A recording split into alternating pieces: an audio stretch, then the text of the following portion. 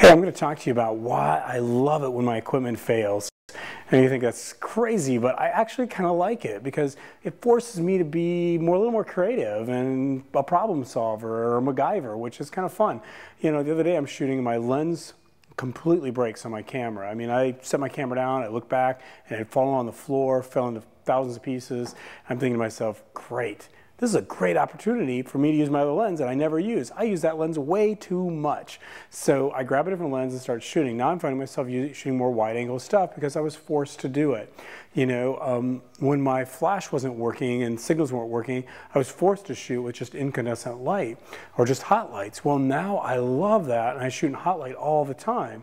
So from failures or equipment failures anyway, I think it forces you as an artist to problem solve, to create something new, look at it as an opportunity to create something new and different. So don't always look at it as, as failures as a bad thing as far as equipment failures. Now, failing a business is another thing. We don't want to do that. But, you know, if something breaks once in a while, don't worry about it. Look as an opportunity.